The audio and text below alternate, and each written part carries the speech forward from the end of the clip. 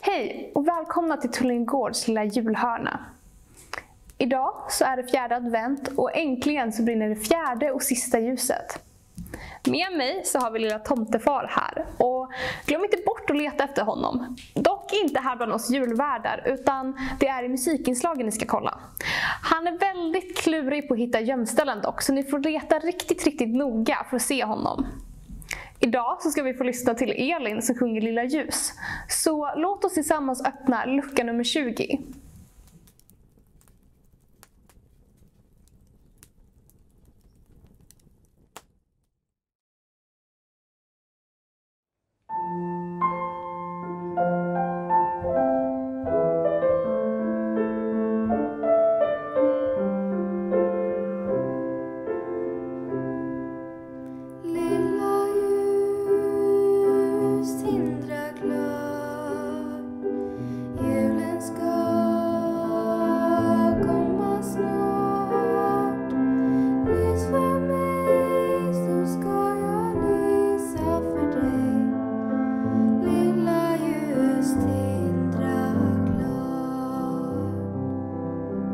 thank you